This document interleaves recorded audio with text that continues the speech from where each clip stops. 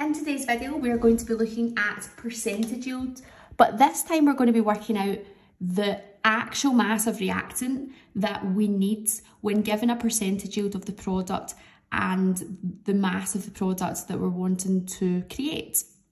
So in this question, we have got ethanol, which is our reactant, and we've got ethanoic acid, which is our product. And the question asks us to calculate the mass of ethanol, so that's our reactant, used to produce 12 grams of ethanoic acid if the reaction had a percentage yield of 57%. So the first thing that we want to do is we want to work out the theoretical yield. So to be able to do that, we take out our entities. In this case, it's ethanol and ethanoic acid. We do our mole ratio. It's a one-to-one -one ratio. And we need to times it through by the GFM because we're working with mass. So the GFM of ethanol, uh, 2 times 12 plus 4 plus 16 gives me 44 grams, would produce 12 plus 3 plus 12 plus 32 plus 1, 60 grams. But in this question, it wants us to produce 12 grams of our product.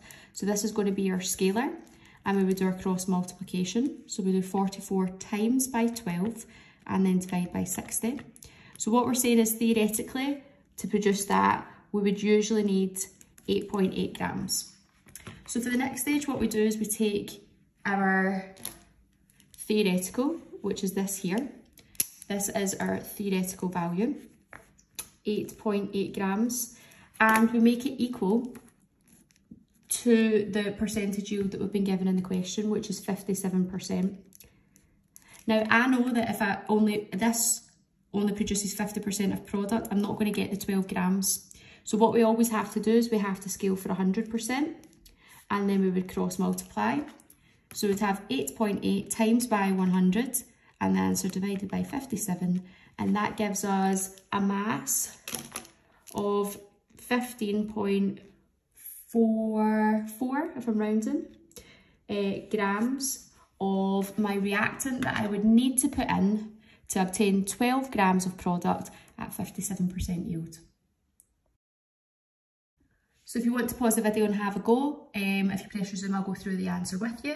But this past paper question's from the Advanced Higher 2016 written 9A. And the question asks us to calculate the mass of ethyl paraben uh, required to produce, and they're given as a mass of the 4-hydroxybenzoic acid with the percentage yield of 77.5%. So the first thing we have to do is take down our mole ratio from the picture that we've got. Uh, our balanced chemical equation is a one-to-one -one ratio. We times through by the GFM as um, we're working in mass. We can see that they've given me the mass of ethyl paraben as 166 grams and that would produce the 4-hydroxybenzoic acid at 138 grams. What they have given me is they say that I want to produce 2.48 grams of my product. So I would cross multiply this. So in my calculator, 166 times by 2.48 answer divided by 138 and that would give me a mass of 2.983 that I would need to have theoretically to produce that quantity of product. So we take the 2.983 and we make it equal to the percentage given in the text. So the percentage yield is 77.5%. We scale for 100.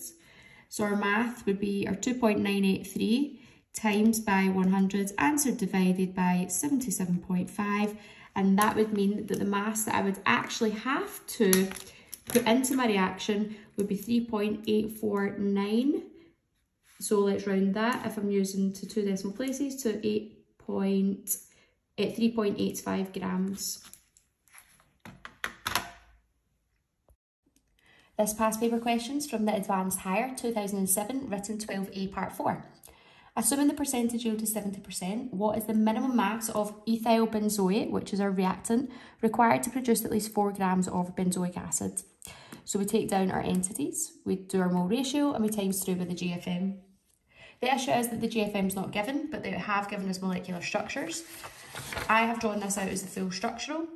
Remember that in a benzene ring, each carbon atom has one hydrogen unless it's been substituted by another element.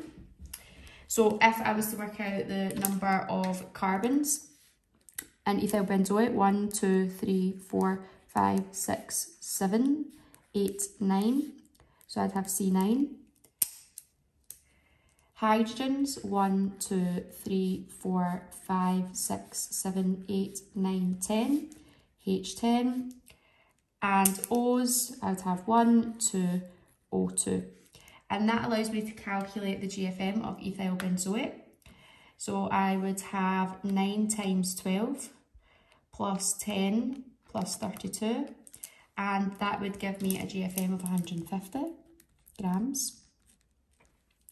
I do the same for benzoic acid. I've drawn the full structural formula. Carbons, 1, 2, 3, 4, 5, 6, 7, C7. H's, 1, 2, 3, 4, 5, 6, H6. And O's, O2. So to work out that, I would do 7 times 12 plus 6 plus 32 and that would give me 122 grams. In the question, they ask me for the mass of product to be 4 grams and then I would cross multiply. I'd have 150 times by 4, answer divided by 122 and that's telling me that I should theoretically have a mass of 4.918 grams. And that is my theoretical value. Remember, we take that theoretical value, 4.918, and we make it equal to the percentage that's given in the text, which is 70%. Percent we scale for 100.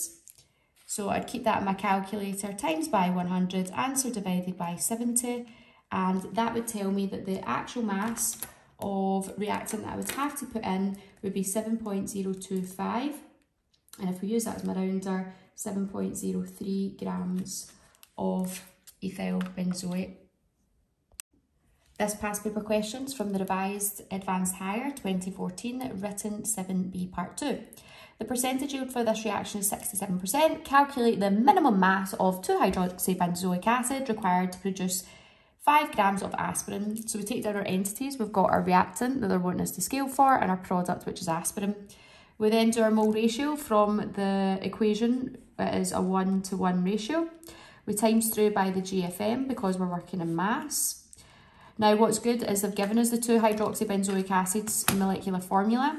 So it's 7 times 12 plus 6 for our hydrogens plus 32 plus 16 for our oxygens, which means that that has a GFM of 138 grams. That would produce aspirin. Unfortunately, they have not given us the molecular formula, but they have given us the skeletal structure, which I am going to finish drawing out as a full structural. Remember, when you've got a benzene ring, every time you've substituted one of the hydrogens, uh, that hydrogen disappears and all the other carbons within the ring have just one hydrogen atom due to the delocalization within the benzene ring. So let's write out the molecular formula for this. How many carbons do I have? One, two, three, four, five, six, seven, eight, nine. C9. How many hydrogens? One, two, three, four, five, six, seven, eight. H8. And how many O's? One, two, three, four. O4. So then I work out the molecular formula for this. 9 carbons times 12 plus 8 plus 32 for 2 oxygens plus 32 for another 2 oxygens, which is a total of 4, which gives us 180 for the GFM of aspirin. What mass have they given us in the question? We want to produce 5 grams and we're going to use that to scale for our theoretical. 138 times by 5, answer divided by 180 and that would give me a theoretical mass of 3.83, oh, 3, let's write that out correctly, 3.833 grams. And that there is my theoretical value if I wanted to produce 5 grams. However, that's only if you've got 100%. We know that that 3.833 grams. The percentage yield for that reaction is 67%. We need to scale up because we know that we're going to lose a percentage of that due to that. And we do a cross multiplication, 3.833 times by 100, answer divided by 67. And that gives me the mass that I should put into my reaction as 5.72 grams.